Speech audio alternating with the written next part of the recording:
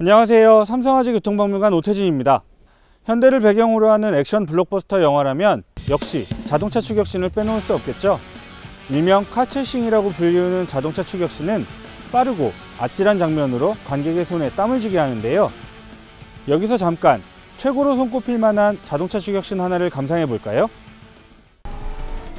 이제 고인이 된 숀 코네리와 국내에서 한때 캐서방으로 불렸던 니콜라스 케이지가 출연한 영화 더 록의 자동차 추격신입니다.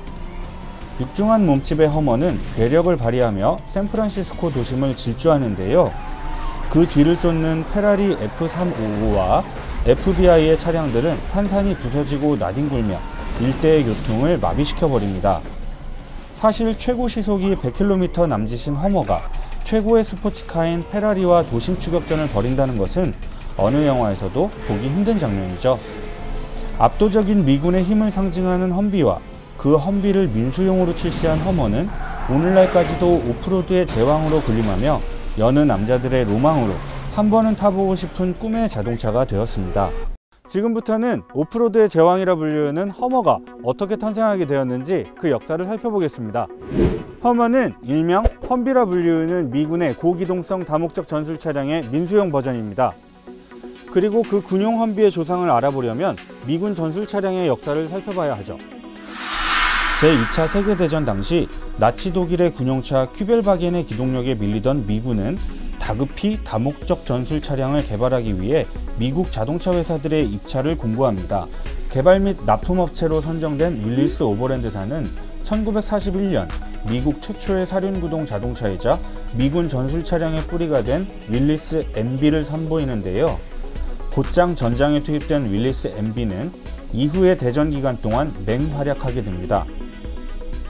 윌리스 MB는 당시 군에서 지프라는 애칭으로 더 많이 불렸는데 이 지프라는 이름은 당시의 인기 만화 뽀빠이에 등장하는 요술 강아지 유진 더 지프에서 유래되었다는 설도 있고 다목적 전술 차량을 뜻하는 제너럴 펄포스의 약자 GP에서 유래되었다는 설도 있습니다.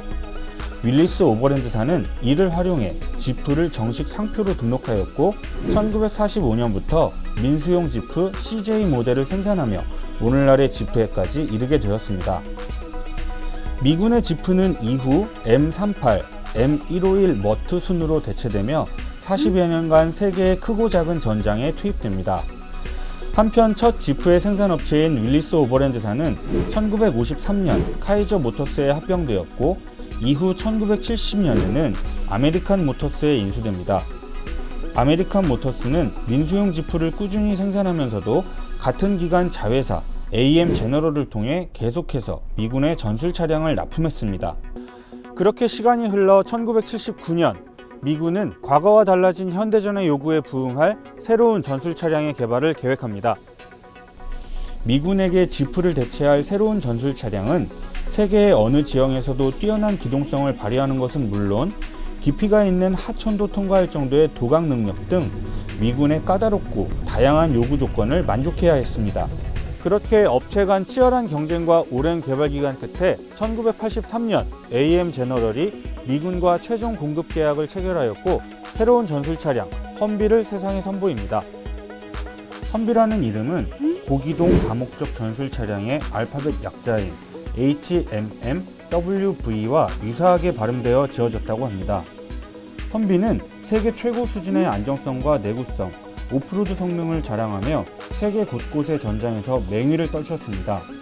특히 걸프전에서의 모습이 CNN을 통해 전 세계에 생중계되면서 미군의 새 아이콘이 되었죠. 한편 승승장구하던 험비와는 달리 제조사인 AM 제너럴은 재정적 어려움을 겪게 되어 험비를 민간에도 판매할 것을 계획하였고 그 결과 1992년 험비의 민수용 버전 허머를 출시하게 됩니다. 이는 쉽게 접근할 수 없던 험비를 일반인도 구입할 수 있게 된 좋은 기회였습니다. 게다가 험비의 민간 판매를 애타게 기다렸던 영화배우 아놀드 슈왈츠제네거를 비롯한 유명인들이 허머를 구입하고 애용하면서 세간의 주목을 받았습니다. 특히 첫 해 생산된 허머는 미국의 고급 백화점인 니만 마커스의 마케팅으로 316대만 한정 생산되어 이후 아주 희귀한 모델이 되었습니다. 이 빨간색 허머는 니만 마커스의 한정판 모델 중 225번째로 생산된 모델입니다. 이후 회사 사정으로 AM 제너럴의 허머는 GM의 허머로 아메리칸 모터스의 지프는 크라이슬러의 지프로 자리하게 되었습니다. 이렇게 되면서 허머와 지프 두 브랜드가 함께 법정에 서게 되는 웃지 못할 사건도 발생하는데요. 2002년 크라이슬러가 허머 H2의 라디에이터 그릴 디자인이 지프 특유의 7슬롯 그릴과 흡사하다며 GM을 고소한 사건이 그것입니다. 하지만 법원은 허머의 그릴 디자인이 지프의 디자인을 침해하지 않았고 소비자가 혼동할 염려도 없다며 이 소송을 무효로 결정했습니다. 허머와 지프는 미군 전술 차량이라는 한 뿌리에서 나왔고 아메리칸 모터스라는 한 지붕에서 자랐는데 말이죠. 지금까지 허머가 어떻게 탄생하게 되었는지 그 역사를 살펴보았는데요. 다음 기술편에서는 허머의 능력을 자세히 보여드리도록 하겠습니다. 감사합니다.